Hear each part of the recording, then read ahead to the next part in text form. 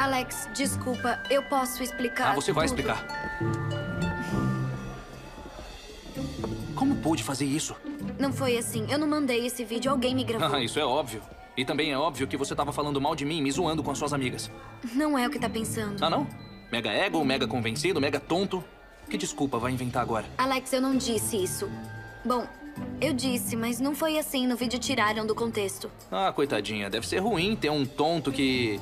Que evite que roubem a sua bike, que te convide a participar dos vídeos, que é super gente boa com você. Alex, por favor, acredita. Editaram esse vídeo com uma péssima intenção. Então, além de me chamar de mega convencido, acha que eu sou tonto. Sei muito bem como você edita um Não. vídeo e essas palavras saíram da sua boca. Era a sua voz e a sua cara. Então, se for inventar alguma coisa, por favor, seja um pouquinho mais criativa.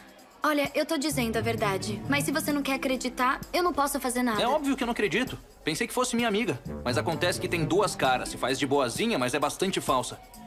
Olha. Pode pensar o que quiser, mas eu não vou deixar que fale comigo assim. Eu já te expliquei o que aconteceu e pedi desculpas. O que mais você quer que eu faça? Mais nada. Já fez o suficiente.